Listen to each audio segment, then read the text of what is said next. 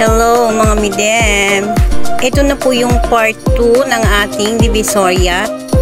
And like cheap toys, hindi naman po magpapahuli ang ating mga cheap candies na napaka-affordable po ng mga prices nila.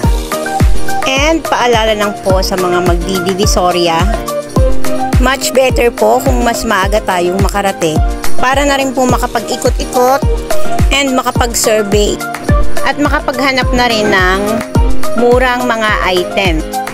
Nasa second floor po tayo ng Divisoria Mall. So sa taas, marami din pong mga um, pwesto doon. Pero late ko lang nalaman na mas marami po pala sa ground floor ng Divisoria Mall. So sa lahat po ng nagpaplanong pumunta ng Divisoria, so ground, ground floor po ang maraming mga cheap toys and cheap candies.